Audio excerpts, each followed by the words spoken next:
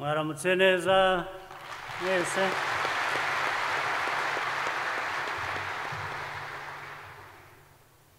Uh, vice chairman uh, secretary general of commissioners. N'abayobozi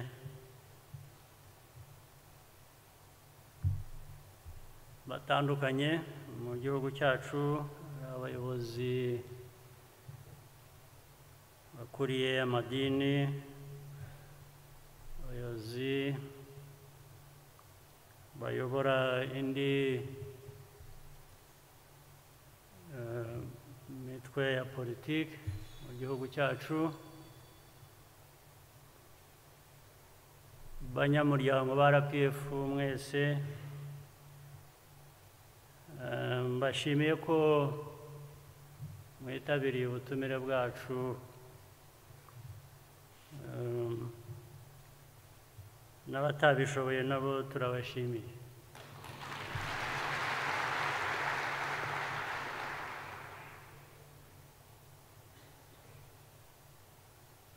Uh, ubutumire nk'ubu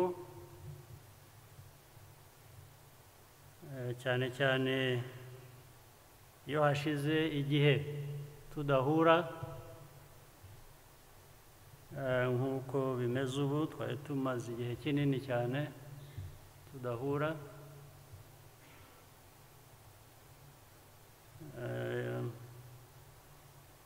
igihe babatumiye nk'umuyobozi wa rpf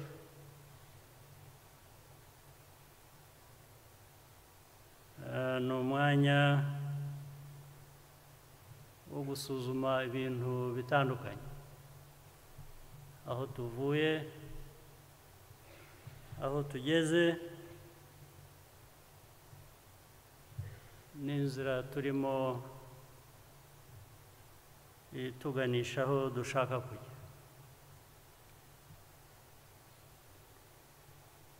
Ariko ni n'umwanya eh, kuri jye eh, wo kwinigura. Na rimwe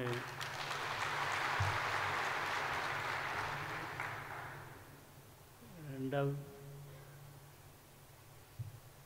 ibijyanye n'iyi nama impamvu turi hano ku buryo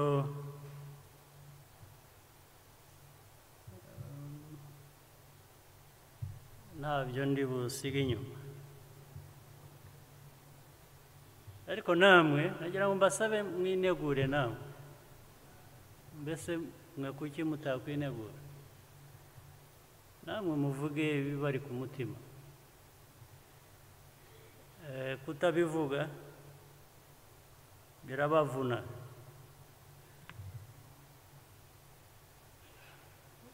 Iyo ukomeje mubika ibintu ku mutima bigeraho bikaremera. Ujye mugeraho umwanya nk'uyu mubigabanye dusangire amagambo ibiganiro ibitekerezo. Kuko ni byo byangombwa kugira ngo twubake igihugu cyacu.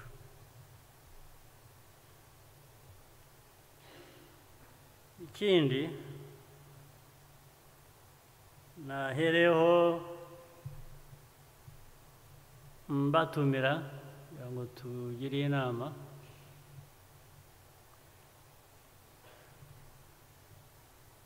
ni uko rpf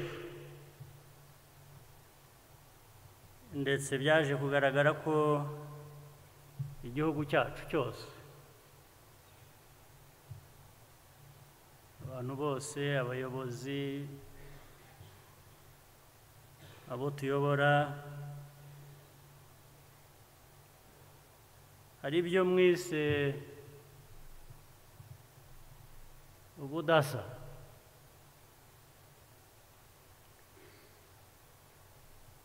ubudasa bwacu bw'u rwanda bijyanye n'ibibazo by'umwihariko igihugu cyacu kigomba guhangana na byo n'abandi bafite ibyo bagomba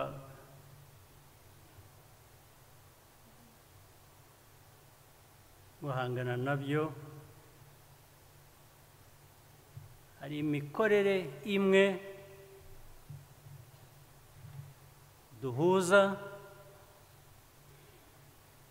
ariko hari n'iyo tudahuza kubera bwa budasa bwacu.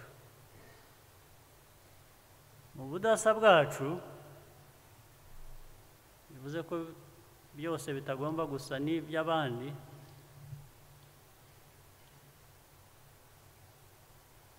habamo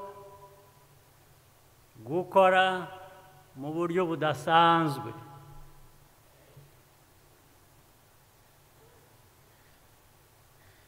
Hagomba kubamo gukora mu buryo budasanzwe. Kugira ngo tugere ku byo twifuza bitewe ndetse ko n'aho duturuka hari ibibazo byinshi byacu by'umwihariko. Uburyo rero budasanzwe tugomba gukoresha ni bya bindi mpereye no kuba abo twatumiye ubundi umuntu yavuga ati iyi nama ko ari rpf twe turayizamo gukora iki?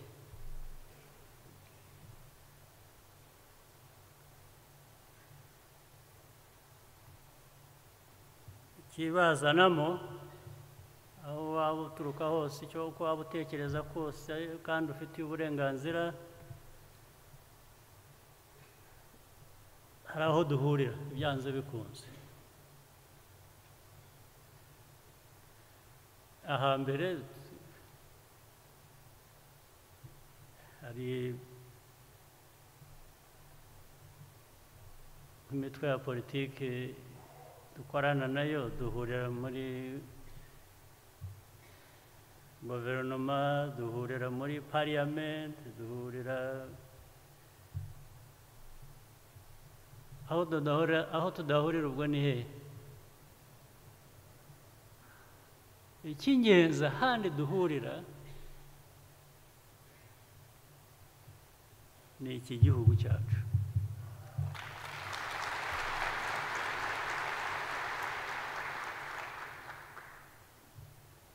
Kuko rpf yifuza gukora n'aho yifuza kuba yageza igihugu cyacu mu musanzu wa rpf n'abandi buriya ni ho bashaka ko kigana aho tunyuranyije wenda ni uburyo kihagera.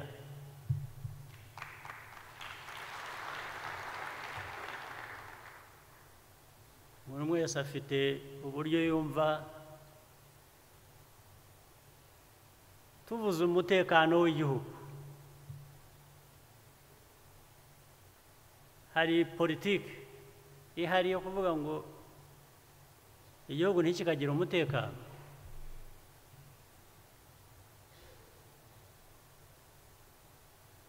Niba tuvuze kurwanya ibikorwa bibi umuco mubi nka ruswa.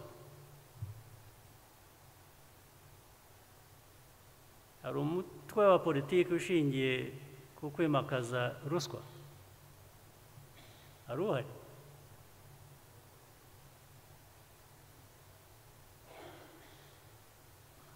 ni ukuvuga rero ngo tubihuriyeho uwo mugambi tuwuhuriyeho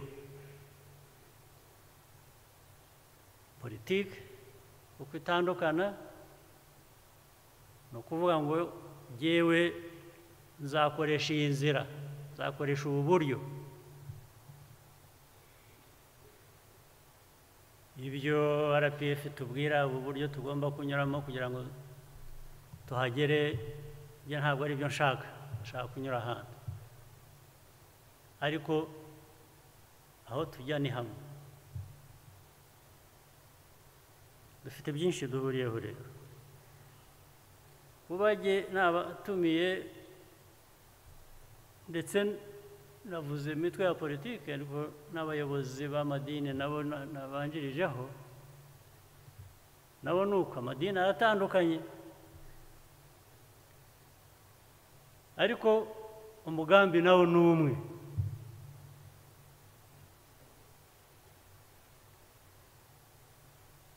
Gukorera imana nako ni ugukorera abantu. Kuyobora abantu mu murongo imana ishaka. Reka mbyite gukorera imana na yo noneho.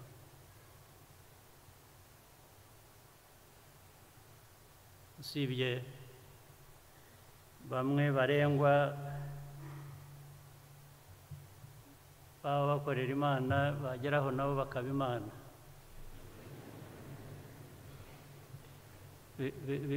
Ariko icyo bivuze ni ukubeshya baba babeshya. Ariko twese turi abantu b'imana. Kandi banatubwira ko imana ntirenganya ntisumbanya nta kuntu rero we yakugira nkayo. Yewe kansiga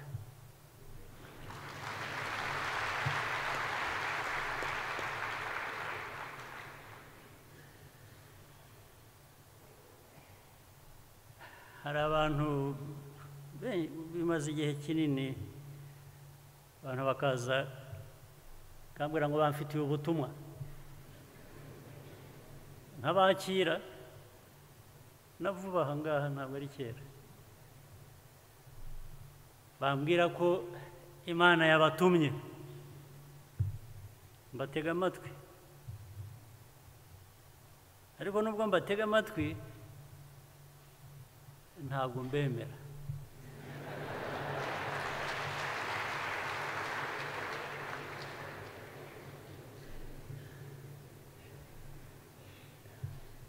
Ndetse simbibabwira ariko bavaho bazi ngo ndavuga ngo urabeshya uri umunyakinyoma. Impamvu ni imwe. Uje ukanyi- uje ukanyigisha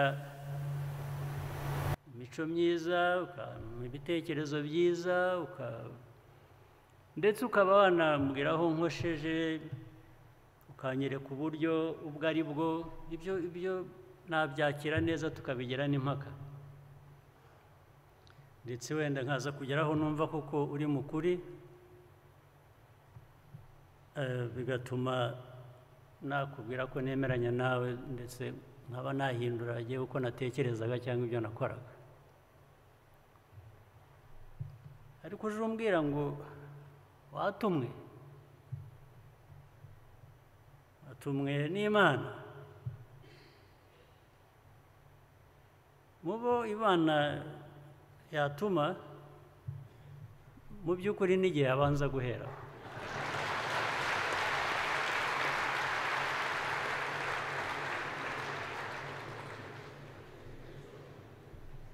Kuko mujya kuntora kuba umuyobozi wa rpf nkoresheje n'ururimi rwabo amagambo yabo ni ukuvuga ngo imana yarabakoresheje murantora none se ari uko bimeze kuki ari imwe yatuma kandi ntintume? Cyangwa ntimbwire? Eh, ibyo rero bimwe nayindi bubigereho ariko kambirangiza hano mujya. Kuko bijyanye n'umuco wa, RPF na- politiki ya RPF ntimugashukike uburyo bworoshye iyo umuntu agushuka uga- uga- ugatwarwa ugakurikira ntabwo ugera kure ntabwo ugera kure utarahura n'ikibazo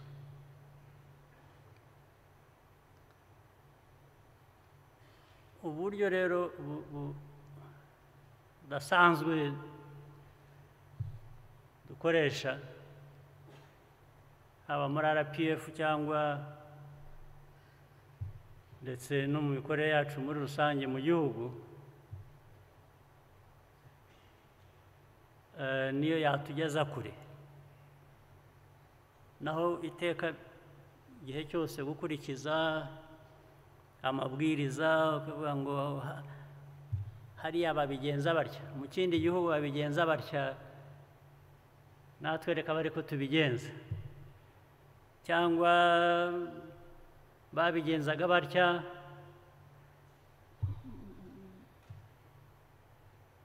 Hano ni uko bigomba kugenda ntibihinduka.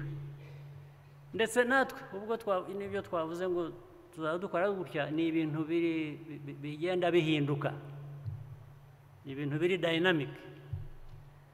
Uko twaba dukora ubu biri no mu mategeko iyo dusanze bitajyana n'igihe cyangwa bitajyana n'inyungu z'igihugu z'abaturage b'u rwanda n'iki dushaka uko tubihindura?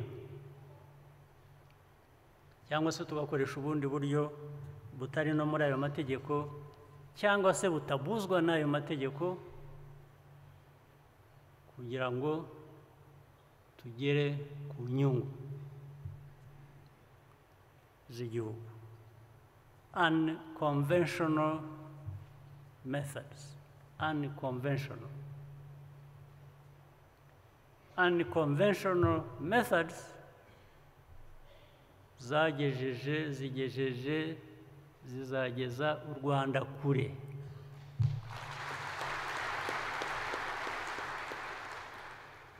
Ntabwo mvuze ngo conventional methods tuziveho uburyo busanzwe bumenyerewe bu- ndetse wenda abantu banemeje baganiriye ntabwo mvuze ngo tubiveho. Oya. Icyo mvuze ni ukuvuga ngo dukwiye kurenzaho.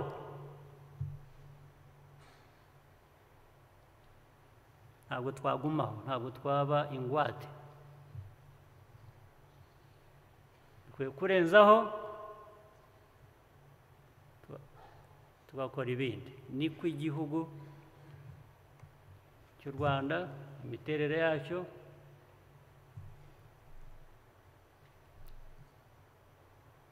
ubudasa bw'igihugu ni cyo bidusaba. Ni nayo mpamvu rero twifuza imbaraga ubushobozi ubumenyi bwa buri wese. Buri wese. N'uwo twaba tutavuga rumwe. N'uwo twaba tudahuje imyumvire. Tugomba kugira aho duhurira niyo mpamvu mbashimira abo tudakora bimwe abo tutumva kimwe. Ariko twatumiye mukaba mwitabiriye ubutumire bwacu. Iminsi ibaye myinshi rero. Igihugu cyacu twaraheranywe na covid cumi n'icyenda hari abacu yahitanye batari bake. Ibyo navuga ko ari ibisanzwe abantu ko bagera igihe cyabo. Ariko kandi nagira ngo mbashimire ukuntu abantu bose igihugu cyose cyabyifashemo eh, uburyo twakoresheje. Ndetse nabwo navuga ko hari ibintu bimwe bidasanzwe twakoresheje kubera ko iki cyorezo cyaraje gi- gisakara isi yose ndetse gitungura buri wese ku isi aho ariho hose. Eh, na ba bandi twari tumenyereye ko ari bo bagira ibisubizo bya buri kintu nabo byarabagoye. Ubwo ibyo na byo byabaye nk'i icyiza mu kibi. Icyiza mu kibi ni ukuvuga ngo icyiza cyavuyemo twararinganiye.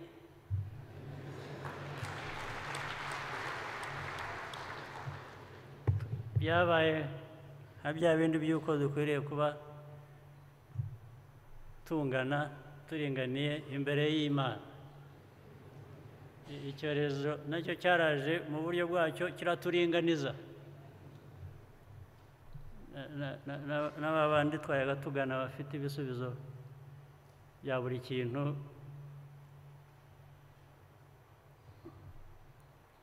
Twasanze byabagoye. N'ubu biracyakomeza imyifatire yacu imikorere yacu ni byo bizakomeza na byo eh, kudufasha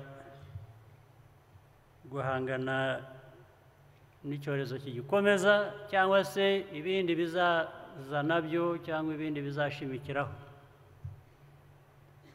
Niyo mpamvu nibutsa nsubira ku bintu by'imikorere imikoranire uburyo budasanzwe dusabwa. Kugira ngo tubeho. Tugiye gukora nk'uko abandi bakora cyangwa mu buryo busanzwe cyangwa ntabwo dushobora kuba tutari aha turi Eh, kaba karatubayeho kera iki gihugu gishobora kuba kitariho uko kimeze ubu iyo biza kuba iby'uko dukora gusa mu buryo busanzwe tutagira byinshi twisaba buri umwe asaba undi tugashyira hamwe. N'imitekerereze itandukanye muri icyo cyorezo no kurwana na cyo ubu u rwanda turi hafi eh, kugera ku rwego aho dukora urukingo rujyanye n'icyo cyorezo n'iyo ndwara. Ariko urwo rukingo cyangwa se ubwo bushobozi bwo gukora urwo rukingo bufite mo n'ubushobozi bwo gukora n'ibindi bihangana n'ibindi.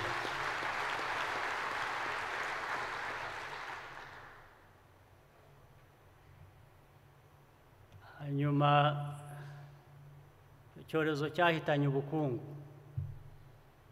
cyarabuzahaje cyane. Ubukungu bw'igihugu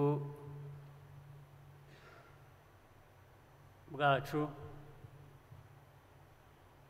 ubukungu bwacu bwarazahaye n'ubukungu ku isi hose nabwo bimera gutyo. Ariko natwe twese hano ibyo dushinzwe n'iby'ubukungu bwacu tutibagiwe uko dukorana n'ibindi bihugu. Maze rero ibyo navugaga no mu kibi havamo icyiza ibyo byose byabaye ubundi biba bikwiriye ikikubayeho cyose kiba kiguye kuba kiguhwitura. Ugatangira gutekereza ariko icyorezo uko cyaje abantu bakajya muri lockdown ibintu bigahagarara nta bintu biva hanze twari tumenyereye gukoresha nta bintu bisohoka nta wifungiranye mbese.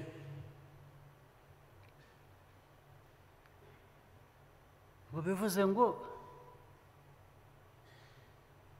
bikwiye kuba bidukangura ku buryo buvuga ngo ariko nihaza ikindi nk'iki cyangwa kirushijeho no kuba gikomeye.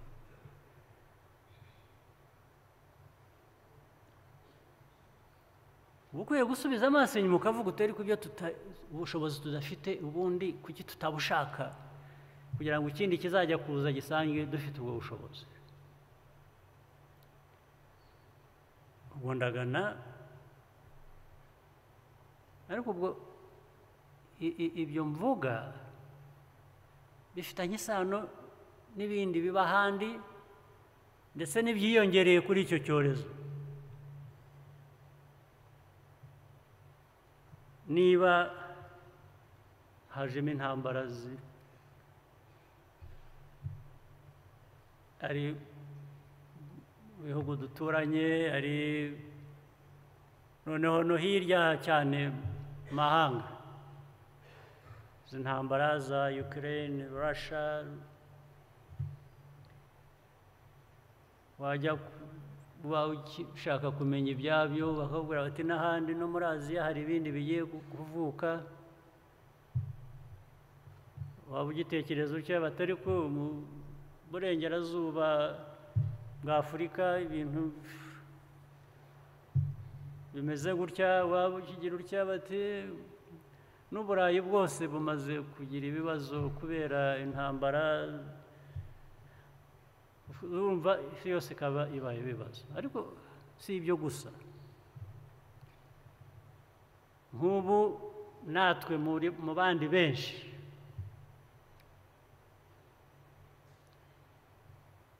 iyo ntambara yo rasha na Ukraine urabizi ibintu byavagayo ingano ibindi biribwa byinshi ifumbire dukoresha mu buhinzi n'ibindi. Bisa n'ibyateye ikibazo ku isi hose. Ubundi abantu bakora nkatwe bakwiriye kuba bakora nkatwe nk'u rwanda uko twiyemeje bya bindi navugaga. Ibyo biba bikwiye kudukangura bikongera mu zindi mbaraga twari dusanzwe dukoresha nkavuga ariko murabizi. Ubundi njya kugira ikibazo cy'ingano ziva Ukraine. Kuki tudahinga bihagije? Ku buryo umusaruro w'ibyo dukeneye w'ibyo kurya w'iki uba uhagije ntibizabe ko habaho ikibazo muri Ukraine ubwo tugiye kwicwa n'inzara. Turapfuye. Kuki ibyo bidahera ko bijya mu mutwe wacu tukibaza icyo kibazo? Noneho bigatuma imikorere ibyo dukora bigana muri iyo nzira yo gushakisha uko? Ntihaba ikindi kibazo.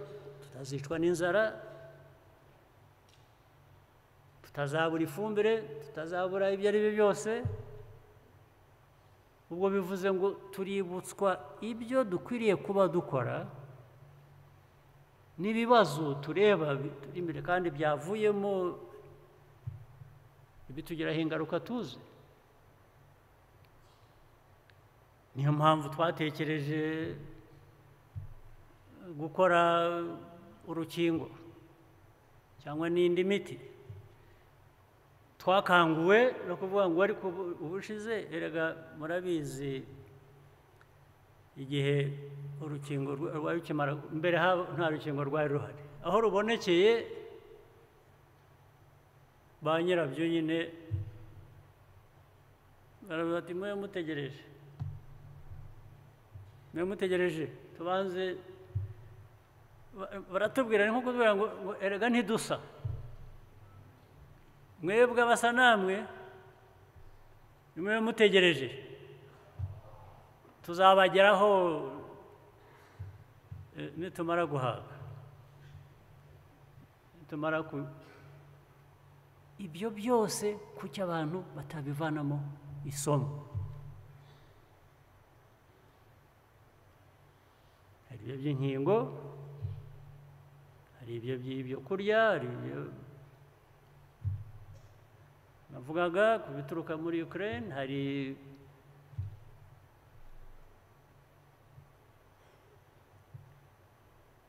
ifumbire hari n'ibindi dukoresha ariko noneho rpf ndagaruka mu rwanda gavumenti leta y'u rwanda abanyarwanda. Private sector. Abikorera ndetse n'ab'izindi nzego n'ab'amadini buriya bose badufasha mu nyigisho inyigisho zo ku tugashyira iruhande imico mibi twibanira na yo ndetse aba banyamadini ba- bahora basubiramo batubwira ibidakwiye gukoreka tukabishyira iruhande tukabivaho tukajya erega ku bijyanye n'ubuzima bwacu. Ibyo bijyanye n'ubuzima bwacu ubuzima bw'igihugu bw'abantu. Nakweretse ko biva ku rwanda bikagera ku isi hose. Ariko ibibazo iyo biri ku isi hose wowe uba ureba ibyawe abawe kugira ngo ushobore kubinyuramo.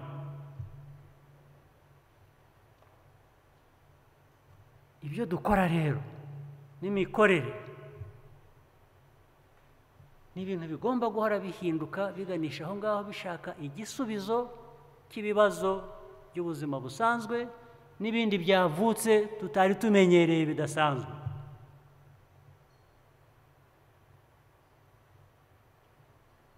Bigenda bigomba kugenda nta kundi. Niba dushaka kubaho niba dushaka kuba uko twifuza kuba kubaho neza.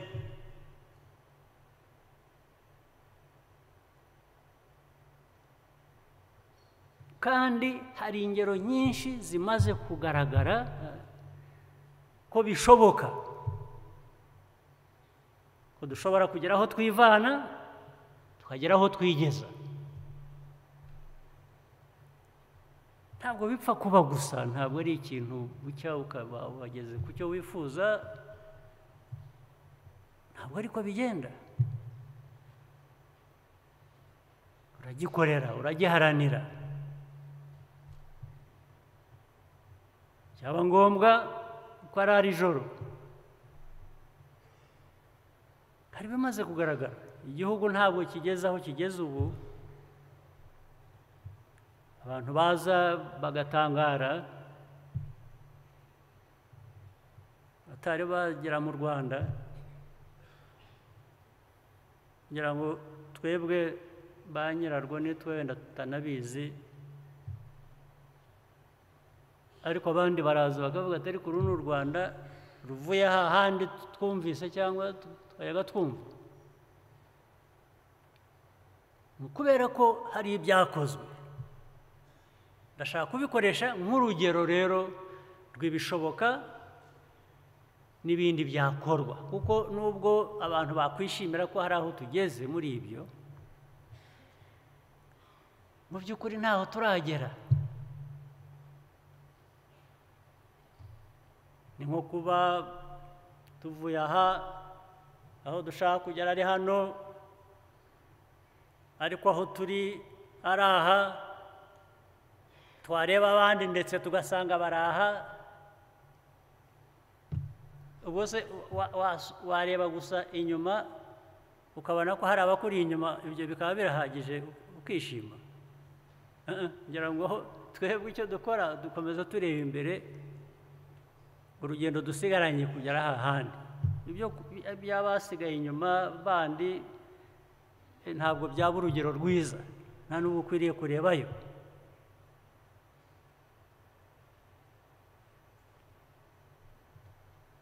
Rero ibyo byose impamvu bitatwibutsa bitanadusaba ko duhinduka tugahinduka abangiza abarangara bakora ubusa eh? abayobozi bagenda baka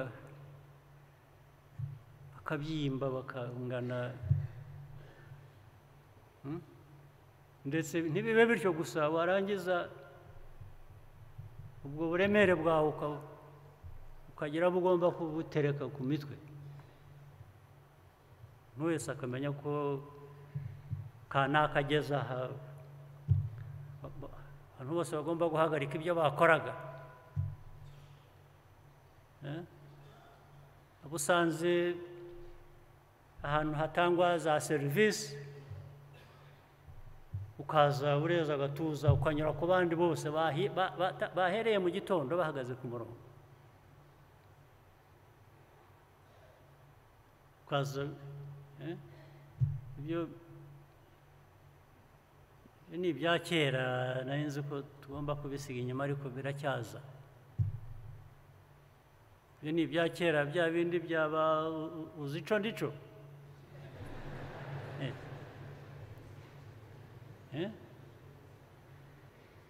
numvise ko hari uwabahaye igisubizo cyiza arabura ngo uri ico ntazi?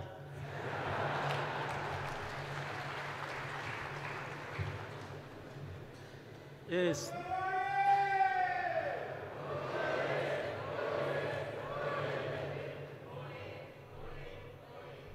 Ukora ibyo aba ari icyo ntazi.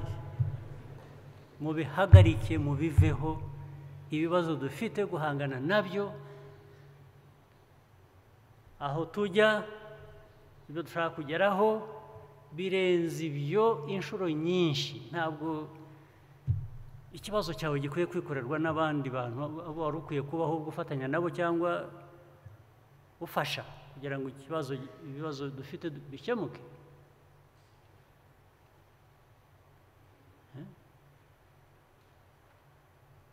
niba ushaka serivisi ahantu ubundi n'iyo mirongo yari ikwiye kuba dushaka uburyo icika. Abantu bakabona serivisi batagombye kujya gutora umurongo. Ariko niba habaye gutonda umurongo buri wese awutonde. Cyangwa se kubera kuri igitangaza hari uburyo wakwishyura. Nta- ntabwo ari bituga mvuga. Ah, ntabwo ari ugutuga.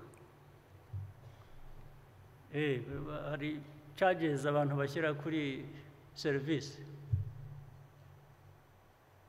hari icyo bashyiraho kugira ngo ukibone mu buryo bwihuse. Eh, wishyure. Ariko utagombye kujya kunyura kuba ari ku murongo. Ibyo mvuga ntabwo rero ari ari amagambo gusa. Dukwiye no kujya dusuzuma buri gihe imikorere yacu imico muri iyo mikorere yacu eh, ku buryo tunabihindura. Ntabwo ari ukubisuzuma gusa bigomba guhinduka byanze bikunze igihe cyose twahuye n'abayobozi aho duhurira hose.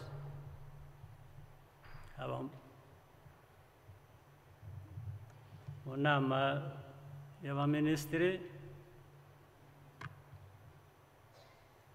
haba izindi nama ngirana n'abandi bayobozi hareba inzego z'umutekano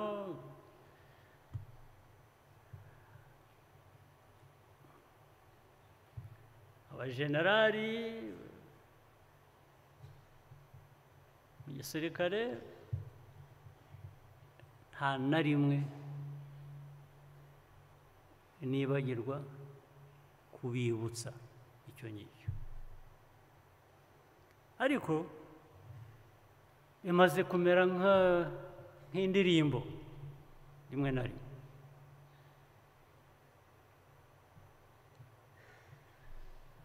umuntu akavuga kandi ba- ba- abantu bakemeranya nawe ko ariko bikwiriye kugenda.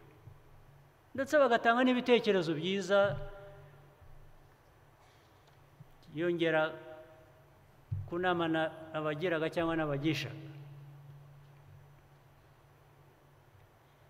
ariko abantu basohoka bajya hanze mu mirimo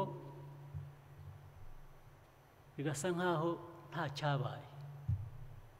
Nta kiganiro kigeze kiba. Nta nama twagiye. Nta mikorere mizima tuzi tugomba gukurikiza. Nta- ntabwo ari ukubikorera ntabwo ari gukora bizima cyangwa gukora uko bikwiye kubera ko hari ushaka gushimisha.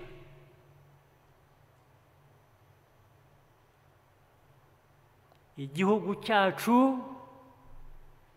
bya bibazo navugaga kugira ngo bikemuke ibyo ni byo bidusaba.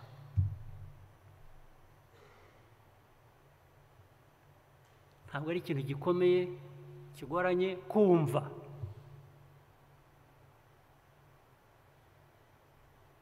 Abantu gusa bahora barwana n'imitima yabo hagati yo kumva ibikwiriye gukorwa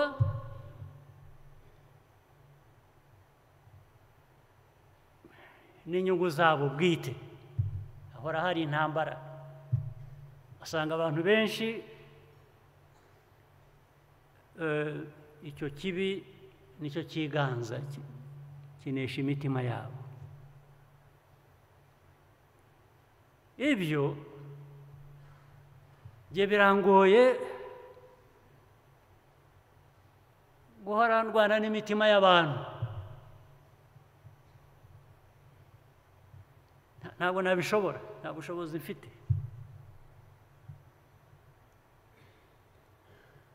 nimwe mufite ubushobozi bw'ibiri mu mitima yanyu.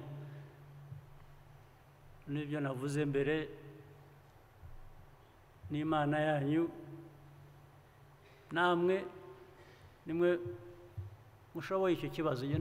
Ntacyo nakorera imitima y'abantu cyangwa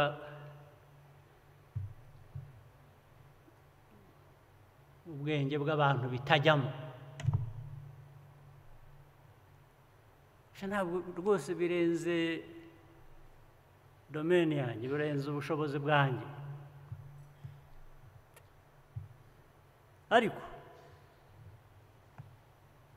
kubera nanone twese icyo duhuriyeho n'iki gihugu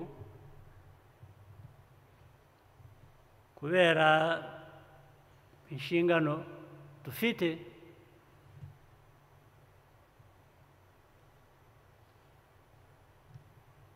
Eh, ntabwo twaterera iyo ngo tuvuge ngo reka ibintu byose eh, umuntu yikorera ibyo ashaka n'umutima we eh, n'imana ye. Ah, ah. ibyo haba chaos. Ubwo uba ushaka chaos? Ntabwo chaos ikemura ibibazo na rimwe.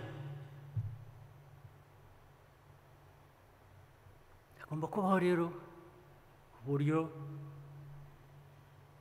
bwo gukurikirana. Uburyo guhagarika ibyo ngibyo bibi biba bidakwiriye kuba kuko biratwangiriza twangiriza twese byangiriza igihugu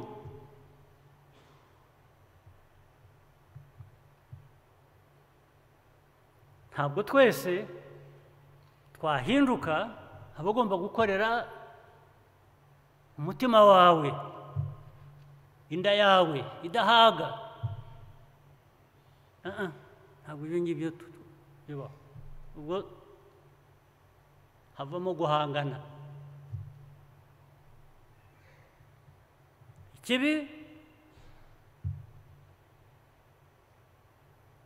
kigahangana n'icyiza icyiza kigomba gutsinda.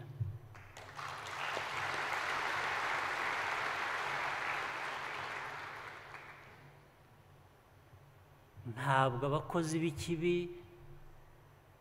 ari bo batsinda. Hari aho biba. Hari aho byabaye. ibyo ntibindeba. Ibindeba ni ibyahangaha iwacu mu rwanda mu banyarwanda. Tuyobora. Inkozi z'ibibi rero zihanwa zingingwa zigira zite? Zikanga zo zigakomeza ntabwo zishobora gutsinda.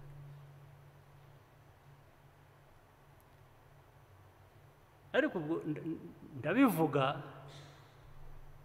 nifuza cyangwa nibwira ko n'abandi ariko babyumva namwe mwese ariko mubyumva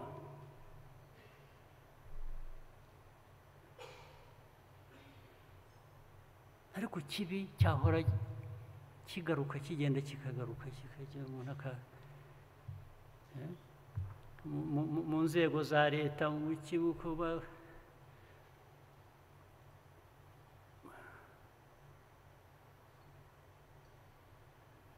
nubwo nta- ntabwo ari byinshi cyane abantu bibwira ko icyiza kiracyatsinda.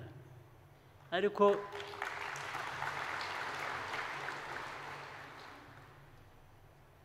ariko ikibi iyo gikomeje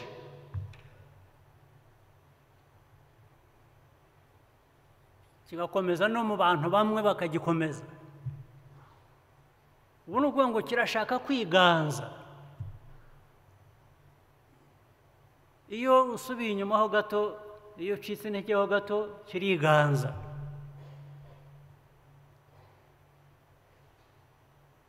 Ntabwo rero bishoboka. Mu byo navuga ngo dusuzume twasuzumye n'ubundi n'ubundi n'ikindi gihe n'uyu ni umwanya wabyo.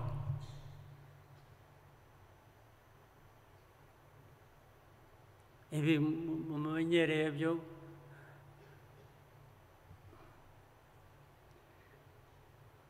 inkozi z'ibibi ku kazi mu nzego za leta bamubaza bati ibi? Naho kugira ngo asubize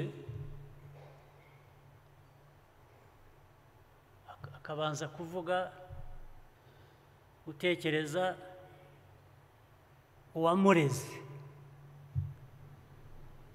ni- ni- ninde wagiye kubivuga? Ahubwo ninde udakwiye kubivuga? Impamvu abantu batabivuga bakabikuvanamo ugakunda bikakuvamo. Ikibazo ntabwo ari nde wagiye kubivuga. Wakoze ibiki? Wakoze iby'iki? Bisobanure.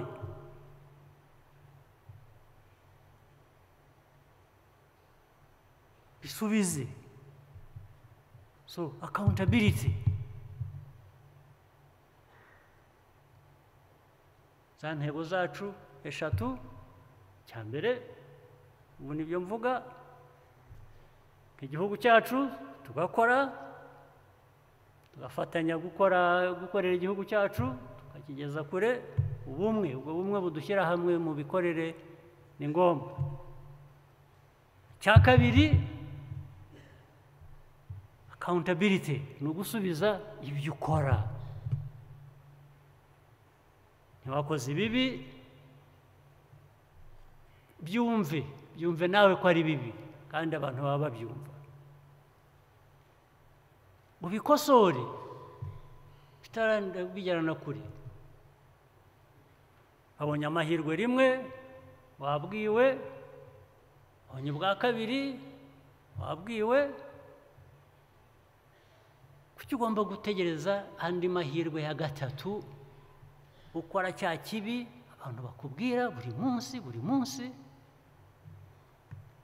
Biba bivuze iki? Cyangwa ubona ko abantu bakugira bati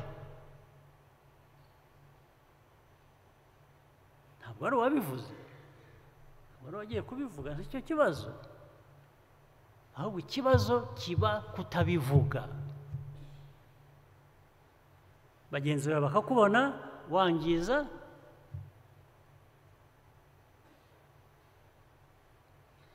Ntagire ukubwira ati sigaho.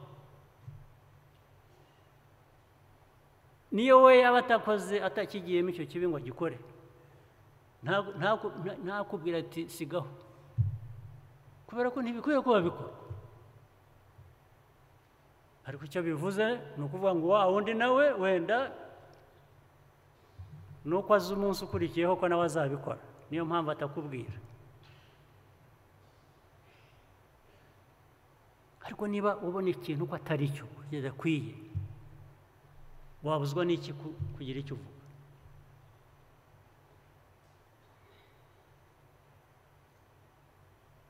Iyo iyo conspiracy in silence ivuze iki? Ijyanye ite? N'intego zacu n'ibyo tuvuga. Tugeza he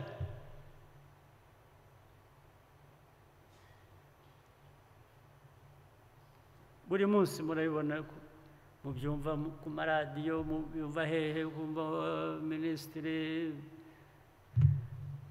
abajyanama ba leta iki ba- beguye bafashwe ba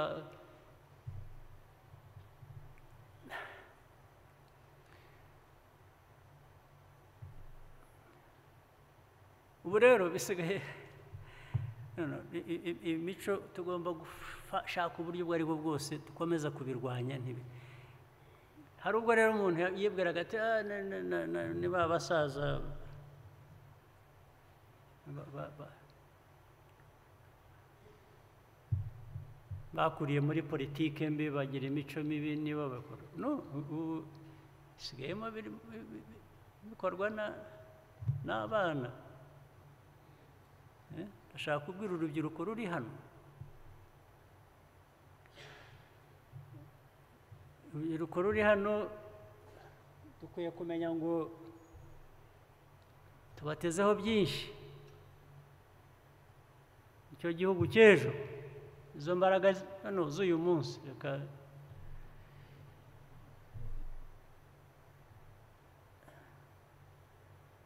Eh, mwe- na- na- namwe mwajya mu mico mibi nk'iyo gute mu- mu- Eh? Kuki kuki muta. Tudashaka uburyo dukora neza dukora ibintu bizima ufite ikibazo tukamufasha. Ariko ibintu byo ku kuko iyo iyo ukoze ibintu nk'ibyo mu nzego z'ubuyobozi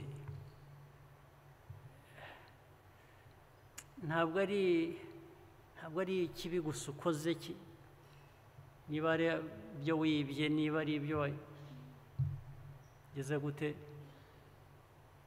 Ariko hari n'icyo cyizere. Cyizere umuryango nyarwanda wari ukwiye kuba uguha cyangwa ufite. Icyo cyizere ubundi ufite cyangwa wari ukwiye kuba uhabwa. Pe uracyanze urakijugunye gitaye aho ushaka kugita koko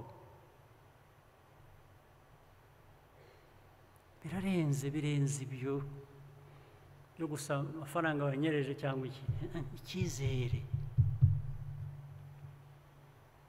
icyizere ki- ki- kigomba kujyana n'ubuyobozi byagenze gute byagenze gute buriya hari bamwe nganira namwe wano wano nka- nka- nkababwira ariko ariko aho wahereye ibyo umaze kugira wa- wa- wagabanyije wahinduye wa- bitarakugeza kure. Nkabwira umuntu ejo ukongera nkamubwira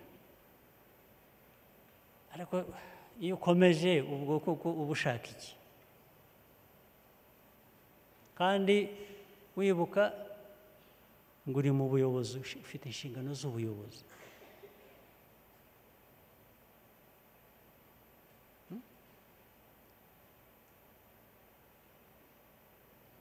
Bakaba nabumbaza ariko buriya koko ibi wagiyemo niba ari n'amafaranga wanyereje wibye ubu iyo utabona iyo utayabona wapfaga ubu iyo- uramuka utayibye wajyaga kuba iki ubu kandi abo biba ubundi ni nabo bafite Eh. abaturage bacu tuyobora birirwa biyuha kuya ba- bakora bagahera saa kumi n'ebyiri saa kumi n'imwe za mu gitondo bakageza za nimugoroba ntabwo bajya muri ibyo. Ariko sinzi indwara ibarimo rwose. Abantu ndetse bicaye bakigenera ibyo bigenera bazajya babona buri kwezi bazajya bagira bate ubu imisoro y'abantu bose ikabanza igatuza imitima yabo hamwe ku- kugira ngo tugire amahoro. Eh, buri wese akabanza akishyurwa kugira ngo bataduteza ibibazo. Akaba ari we usubira inyuma akora ibintu nk'ibi. Kuva hamwe kugera ahandi kuri kimwe Eh? ni umururumba ni ukudahaga ni ukutanyurwa ariko hejuru y'ibyo ndabizi ko atari twese tubirimo uko turi aha. Ndetse abitwa ko batabirimo ndibwira ko ari bo benshi. Ariko. Murabibona murabizi mugaceceka koko. Nta soni. Nta soni ukagira isoni zo kwerekana ikibi cyangwa kugihagarika cyangwa kubwira uwo wakibonyeho ukamubwira uti sigaho. Waba wananiwe kubibwira ukabibwira abandi ukabivuga uti ariko aha ngaha uyu muntu arangiza aratwangiriza.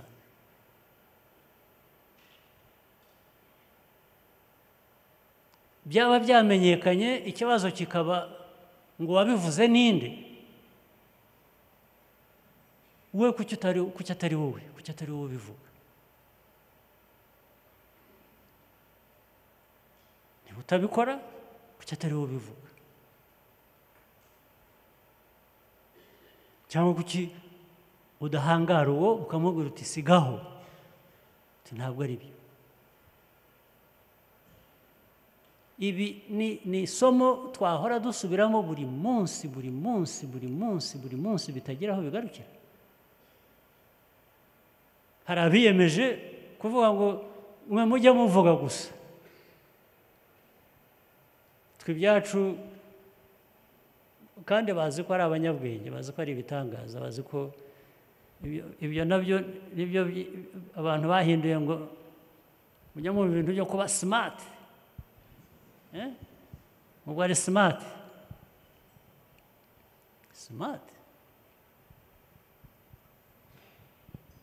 simati bivuze iki?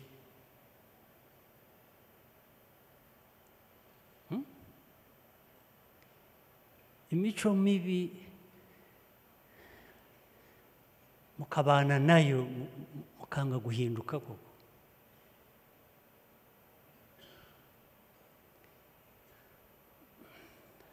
Ariko reka mbabwire. Njye keretse ibyo ntamenye. Eh, ntawe urusimbuka